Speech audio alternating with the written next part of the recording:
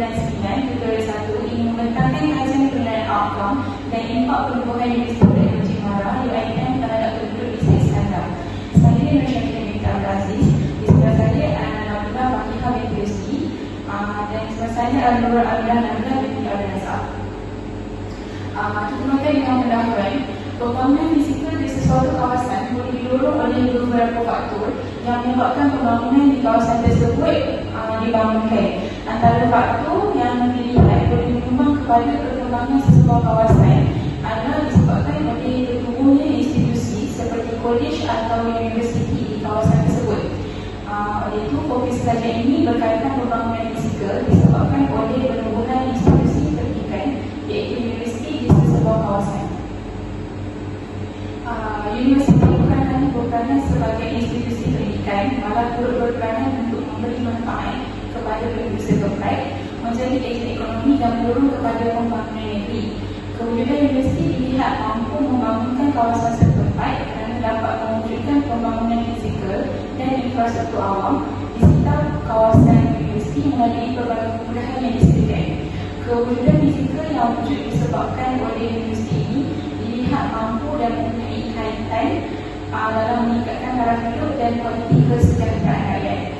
Oleh itu, pekaji akan membuat kajian mengenai outcome dan impak perubahan UITM untuk meninjau dan mengenal pasti perubahan yang berlaku di kawasan tersebut dan untuk melihat secara mana kepuasan penduduk terhadap pembangunan yang berlaku. Okay, uh, seterusnya kenyataan masalah. Uh, bagi sesebuah kawasan yang telah mengalami proses pembangunan, mereka tidak akan terlepas daripada wujudnya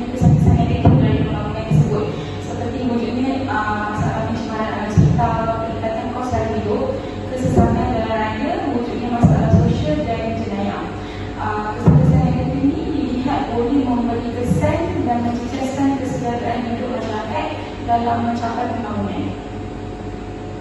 Uh, objektif kajian ini ada tiga. Yang pertama, mengkaji perubahan fizikal yang berlaku di kawasan sekitar disebabkan oleh pertumbuhan UIM di Seri Iskandar. Mengenal pasti tingkat pertumbuhan UIM terhadap kualiti hidup penduduk di sekitar kawasan Seri Iskandar. Dan yang terakhir, meninjau sejauh mana kepuasan penduduk terhadap pembangunan yang berlaku disebabkan oleh UIM.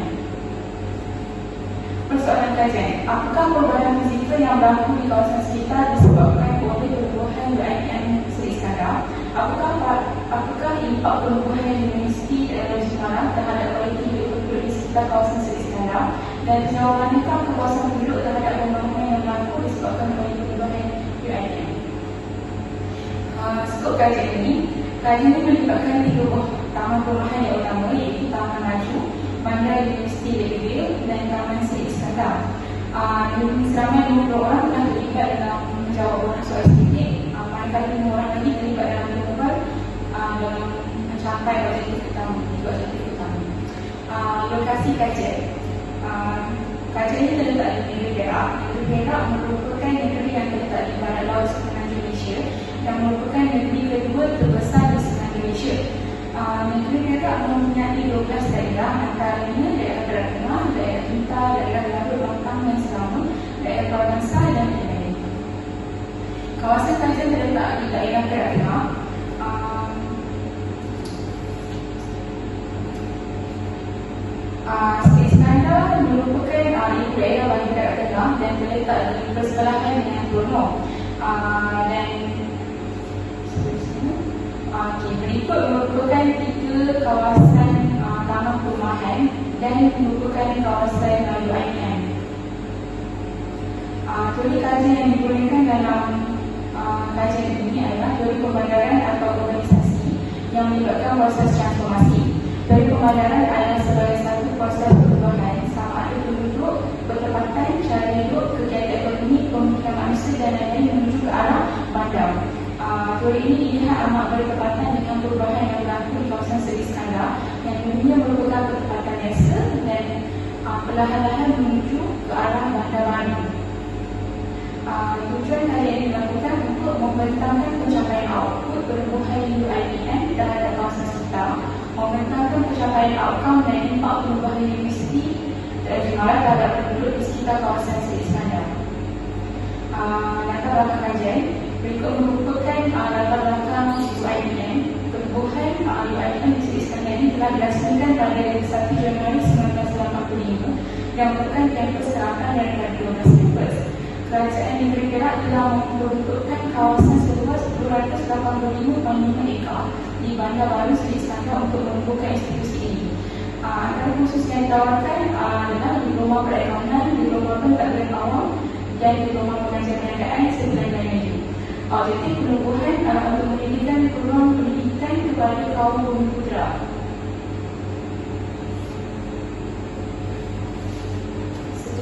bagi Sultan Karya eh, berdasarkan kajian yang dilakukan oleh Muhammad Hadi Ibrahim menunjukkan pembangunan fizikal di Bandar Ipoh memberikan kesan yang positif kepada kesekitaran kawasan.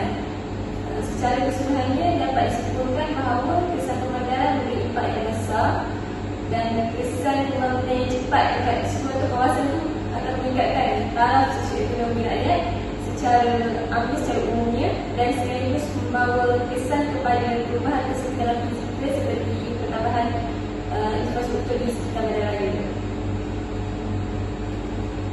Bagi Sultan Karya Kedua, iaitu menurut kajian Anwar Ibn Amir,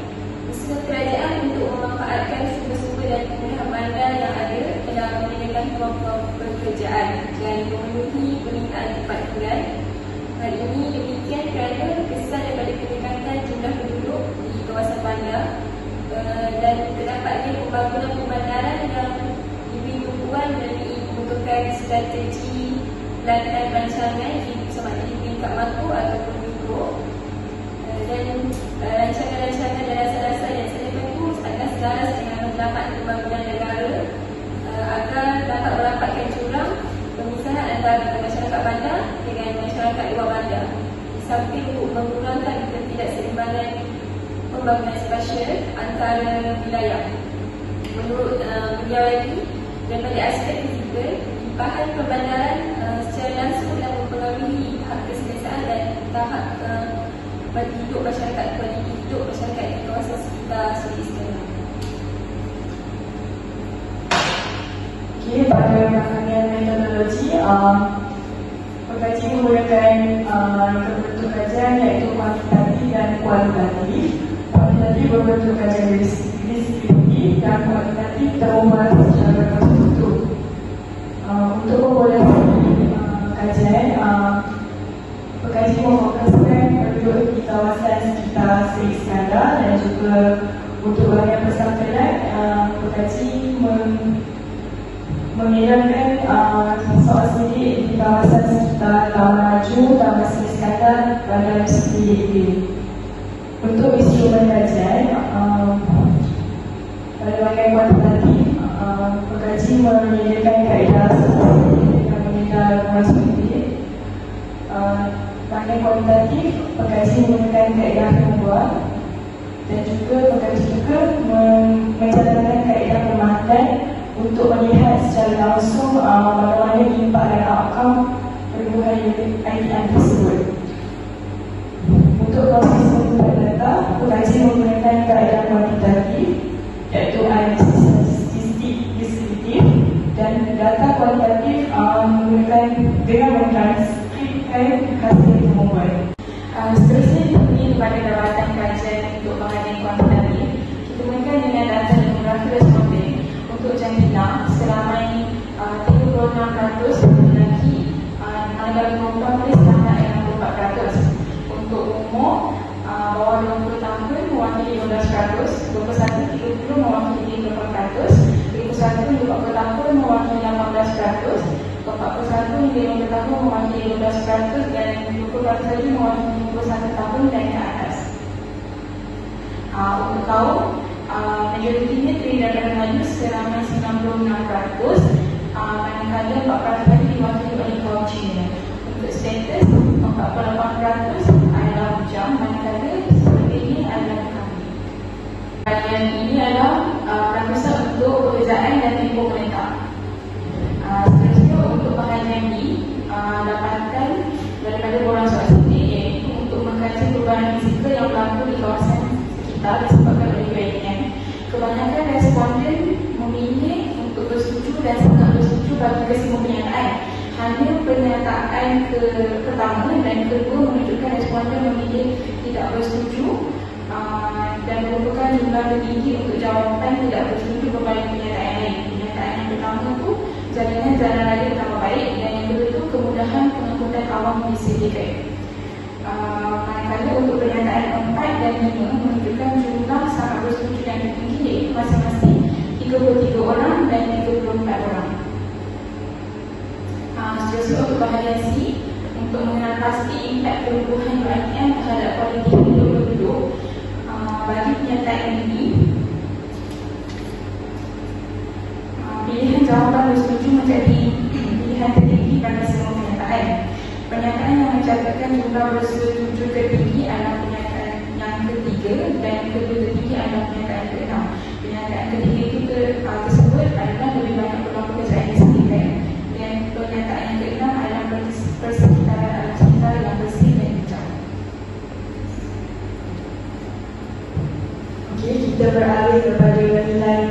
sisihan gawai bagi setiap uh, item soal sikit.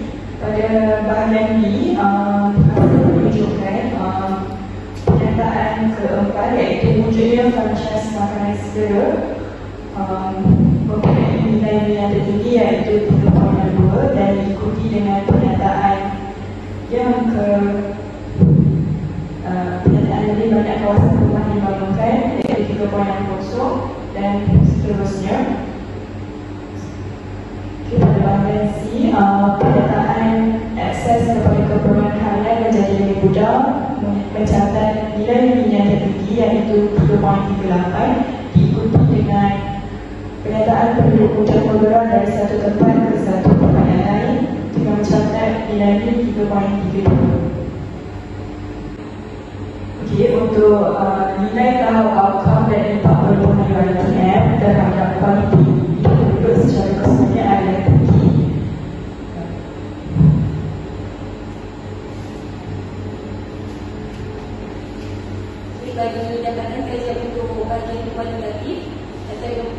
demografi responden uh, menunjukkan bilangan responden adalah dua orang.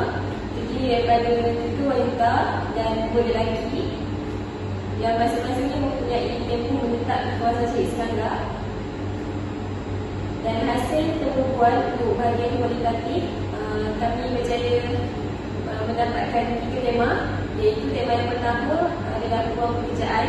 Melalui pembukuan yang dijalankan pengkaji mendapati majoriti responden puas hati dengan pembangunan yang berlaku disebabkan adanya perubahan Hal ini disebabkan oleh uh, pembangunan yang berlaku telah membuka peluang pekerjaan dan yang banyak disebabkan penambahan penduduk dan serta adanya pembukaan sektor-sektor pekerjaan tertentu seperti pensyarah, peluang keselamatan, peniaga dan lain-lain.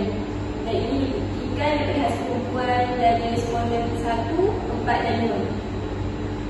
Seterusnya untuk tema kedua iaitu pembangunan infrastruktur bukti berada daripada hasil pembukuan responden 1, 3 dan 4 Uh, iaitu berdasarkan pembukuan tersebut responden berpendapat bahawa pembangunan infrastruktur di kawasan UiTM itu adalah semakin baik dan terdapatnya infrastruktur yang yang berkembang seperti jaringan jalan raya dan ada juga jaringan-jaringan pengangkutan seperti bas, grab dan taksi. Bagi tema terakhir adalah perkembangan ekonomi. Uh, ini adalah hasil dapatan daripada hasil pembukuan responden 1, 2 dan 3. Berdasarkan pembukuan bersama responden, pembukuan UiTM ini telah menggalakkan uh, perkembangan ekonomi penduduk setempat dalam aktiviti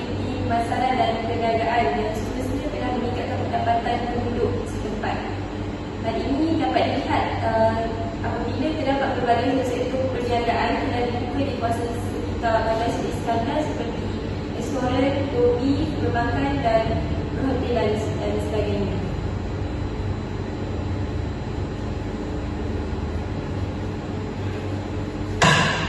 Okey, seterusnya kita balik kepada uh, pencapaian output dan outcome dari UiTM tersebut. Um, antara output yang terjadi dibangunkan ialah kawasan perumahan, adanya kedai dan pasar wujudnya pelbagai sistem perkhidmatan kesihatan, pejabat pos dan dan juga menambahbaikan jaminan jenayah. Secara tak langsung uh, wujudnya apa ini memberi kesan kepada outcome dan impak terhadap kawasan sekitar misalnya uh, dia dapat memudahkan penduduk memiliki rumah uh, memudahkan urusan harian penduduk untuk mendapatkan pelbagai harian. Uh, penduduk mudah berurusan dengan perkhidmatan awam dan juga penduduk mudah bergerak dari satu tempat ke satu tempat lain.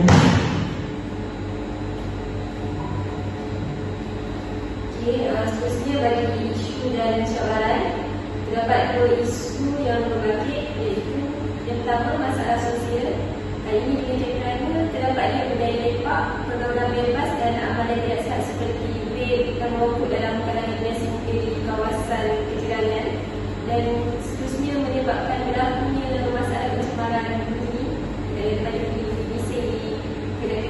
besar-besar perniagaan seperti makan dan seterusnya terdapat juga masalah sosial seperti kesudian, masalah jenayah dan yang amat membimbangkan penduduk di kawasan sekitar Iskandar. Seterusnya, isu kesesakan lalu lintas. Masalah kesesakan lalu lintas ni berlaku pada waktu puncak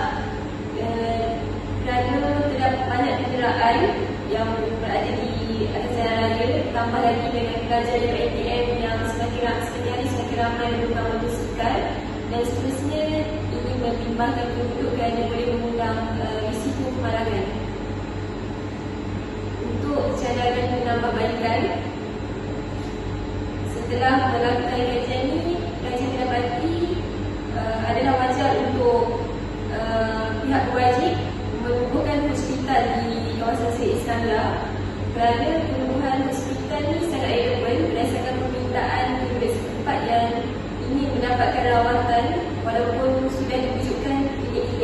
kesihatan di kawasan sekitar. Hal ini kerana penduduk terpaksa melalui perjalanan yang panjang untuk pergi mendapatkan rawatan ataupun rawatan susulan iaitu terpaksa pergi ke hospital Ipoh ataupun hospital Maju.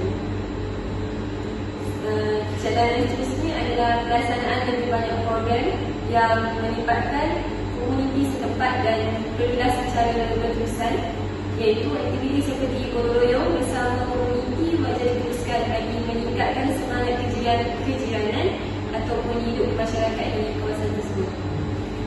Cadangan terakhir adalah perlunya pemerkasaan undang pemerkasaan undang-undang bagi untuk mengatasi masalah kesesakan lalu lintas pada waktu puncak iaitu dengan menempatkan pengawal trafik yang bertugas untuk melancarkan aliran trafik pada waktu puncak tersebut.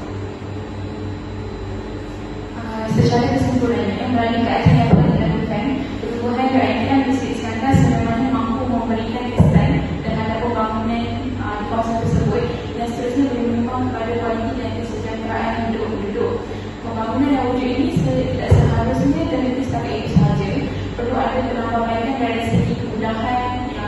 infrastruktur dan lain-lain agar kawasan ini terus maju dan kekal lestari untuk kesejahteraan penduduknya.